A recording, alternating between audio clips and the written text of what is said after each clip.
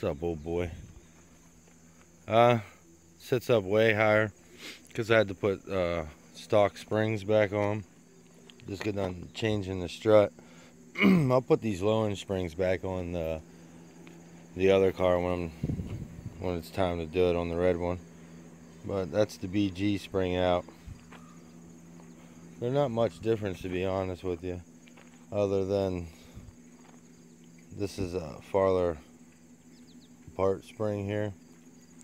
As you can tell, these are closer, which sets the car down lower. It's about there. Any difference between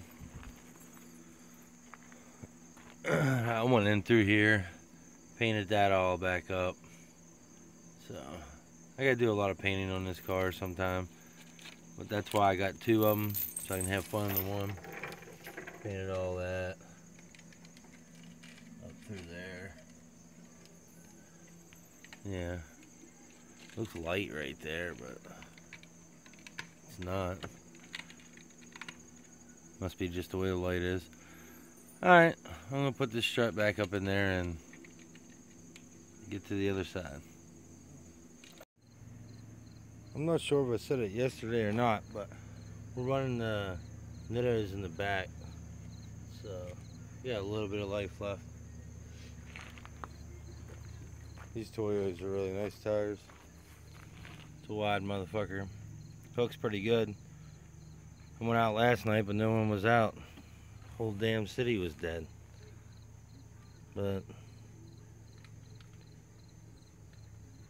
all I seen was diesel trucks.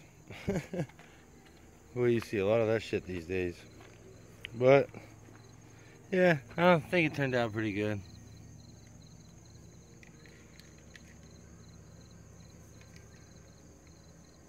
Had to put those shitty ass springs back in, but I painted up underneath to the on the rail pretty good. So do the other side and right where the jacking point is underneath, I sprayed that.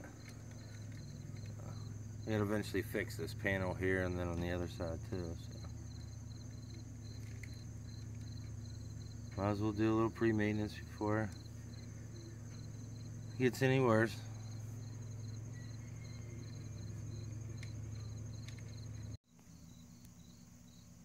Alright guys, paint it, subframe, and up through here on this side.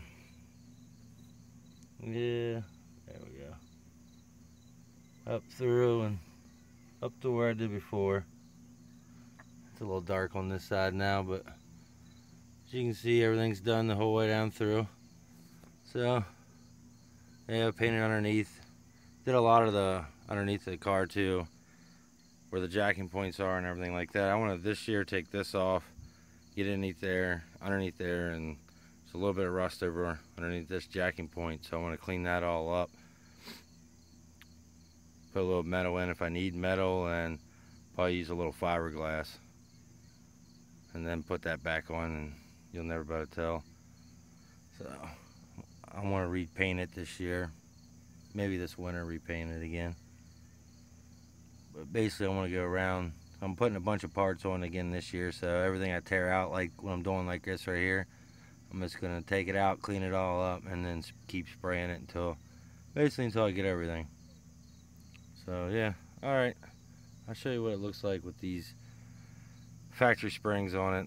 Makes it more look like a damn monster truck or something. It's it's up there. These are rally cars though. A lot of them are used for rally and track and yeah drag. I like the drag racing better. But yeah, not looking too bad. Renewing everything.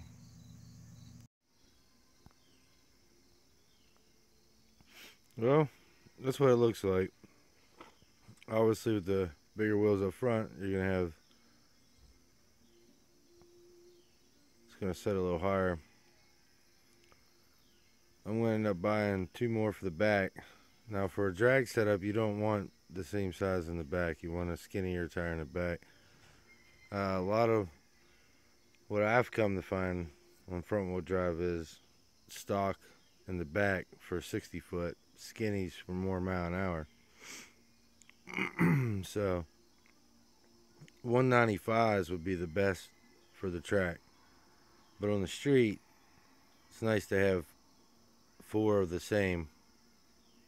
That's a bit much, but you know, big, bit big, but it'll work. Get coils, I'll be able to drop it. I'm gonna roll the fenders this winter. I just didn't feel like doing it now, but that's the whole suspension back on its stock. Shouldn't squat as much in ASN now either, which will help keep the tires on the ground. But yeah, there's some beefy fucking tires. But yeah, it's got the. It's kind of a flat. If you look at the wheel arch, this is still up a little bit higher in the back. But yeah, just figured I'd show that shit. Um.